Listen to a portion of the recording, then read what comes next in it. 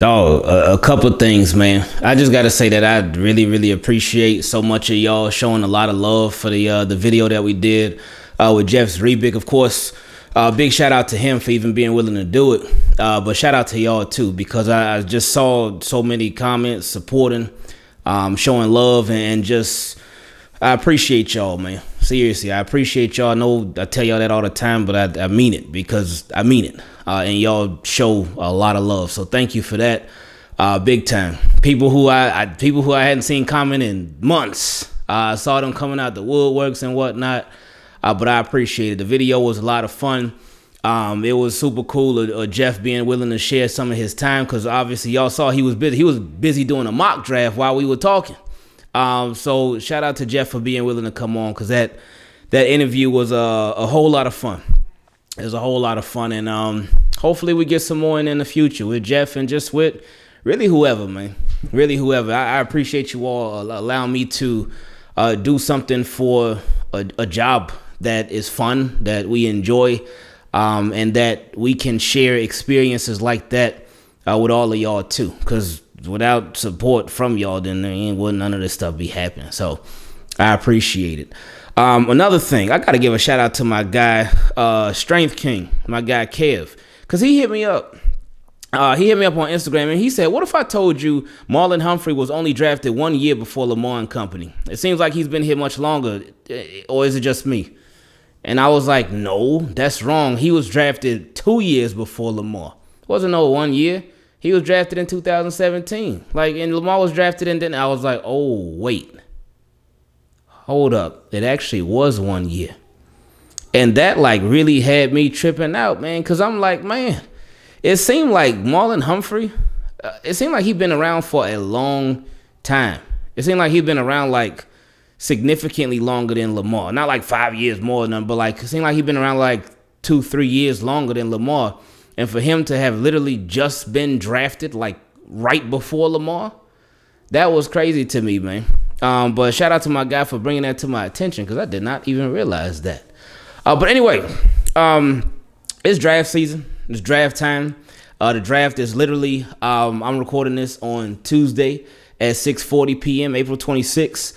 Um, so the draft is in two days. It's in a little more than 48 hours. I think it starts at what the first round starts at seven or eight. I don't even remember. Y'all know we're gonna be doing a live stream and whatnot. Y'all know how it goes. But anyway, um, Ian Rapoport. shout out to my guy Brent uh, Brent G on Twitter because I'm not gonna butcher his last name because I don't know how to say it. Um, but he has showed a, a clip, a video uh, that talked about the Ravens that that they have been making some calls to possibly trade up. Um, and I just wanted to talk about what that could possibly mean. Uh, if the Ravens are making some calls to trade up, now we obviously know it's not for a quarterback, unless you're Bucky Brooks and you want to use his system. No, not for quarterback. Um, Ian Rapoport said that it could possibly be for a pass rusher or a cornerback. Now, those are some legitimate needs of the Baltimore Ravens, but let's talk about what it even means that they are possibly trying to trade up. Uh, one, smokescreen. Could be a smokescreen. And shout out to y'all because y'all y'all are on it, man. Y'all are on it. There was a, a thread on the Ronnie Stanley video, and there were like probably several of them, but there was a thread on the Ronnie Stanley video that talked about how some people felt like this was possibly his camp leaking this stuff out. That Ronnie Stanley was ahead of schedule, and, or he's on schedule and on pace and whatnot. And some people felt like it was a smokescreen by the Ravens, like, oh man, they they saying that Ronnie Stanley he's uh he's gonna be he's gonna pace to start 2022, but them trying to throw people off from them possibly taking a tackle. And if a tackle, if certain tackles drop, then Ravens will be like, oh, okay, ain't nobody gonna see this coming and grab one. So shout out to y'all for being on that. Um, and I think most people, like most Ravens fans that I saw in the comment section, they were very happy about the news about Ronnie Stanley, but at the same time, they were being cautiously optimistic because like, we obviously hope that he is on pace for 2022 to start, but we hope that he's healthy and stays healthy and remains healthy. So that's a lot of big ifs. But Ravens, they they can't go into the season relying on ifs. So I would still expect them to take a tackle. But anyway, back to this news about them possibly trading up. Could be a smokescreen. Could be a smokescreen to sort of try to put some pressure on some other people to trade up, uh, to really get a certain play that they want, while the Ravens may have somebody else on their mind. Uh, it all it also could mean that they are trying to trade up. which I don't think many people would have a problem with that. You have 10 draft picks. There's no way you really getting ready to sign 10 rookies. 10? 10 rookies? Nah. There's no way. Like there's no way you're adding 10 rookies to the roster. I just don't I just don't see it happening. Maybe like 7, okay, 7, uh, but 10, nah, I don't see it. Uh, so, so, I could legitimately see the Ravens trading up um, to try to acquire more picks. I mean, excuse me, trading up and using. Uh, look at that, my, my mind is scrambled right now. I could see the Ravens trading up and using some of the more picks that they have to trade up because they have a lot of ammo, especially in the fourth round. You know, fourth round, they got like 50 million picks there. Um, so I could see this as something that could be legitimate. Um, now, it could mean that they want quality over quantity. Um, and that would be having less picks, yeah, but having higher picks. Yeah, yeah. And I wouldn't be mad at that at all. And I don't think really anybody would. Um, now another thing it could mean uh, is that yeah they, they got their eyes on somebody. Could mean that they got their eyes on somebody. A lot of people been talking about uh, Kayvon Thibodeaux. and man, I, I was watching a clip from him talk to who was he talking to? I don't know if it was Adam Schefter, Ian Rapoport, or somebody else. Maybe it was Dan, not Daniel Jeremiah. Maybe it was Andrew Siciliano. Maybe it was him. But I was listening to this guy speak, and I'm like, man, this dude sound like old school guy, like he been around the block and whatnot. He sound like he got so much life experience. Like the the way that this guy speaks, he speaks with so much knowledge. He he is very careful in choosing his words. He um, I I, I just loved hearing him talk. Uh, because you thought like his answer was gonna go one way, but he, he kept it calm and he didn't he didn't fall for the bait. Because I think the question was, oh, why aren't you uh consider why aren't why aren't you like considered to be the number one pick or something like that? But uh, you know, a lot of people could have been like, "Hey, I should be the number one pick. I'm the best player in this draft." Da da da da. Uh, or I feel like I'm the best player in this draft. But his his I forgot exactly what he said, but I was very impressed with his answer. And I'm like, man, okay now, I, I see you. You got you got your media training early and on point. Um, but yeah, the Ravens could be interested in somebody uh, that maybe some of us are thinking about, maybe some of us are not thinking about. But it could really mean something real, something true that the Ravens are trying to trade up. Um, another thing too that it could mean uh, is that they actually want to trade down.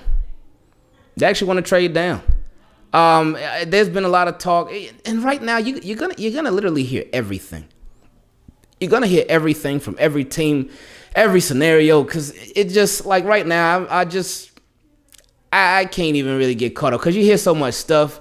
Of course, recently, like today, it's been all kind of stuff going on. There's been all this talk about, oh, the Houston Texans, they did the most extensive homework on Derek Stingley and da da da. Then talking about the Jets. Then talking about uh, they talking about the Houston Texans. Oh, their pick is the wild card pick, and I'm like, man, let's just get to the draft, man. I'm I'm like, let, let's just get to the draft, man. Cause I'm I'm just ready for all these questions to be answered. I'm ready for all this stuff to be cleared up so we know exactly who's going where. We get to see it and it gets to come to fruition and it's done.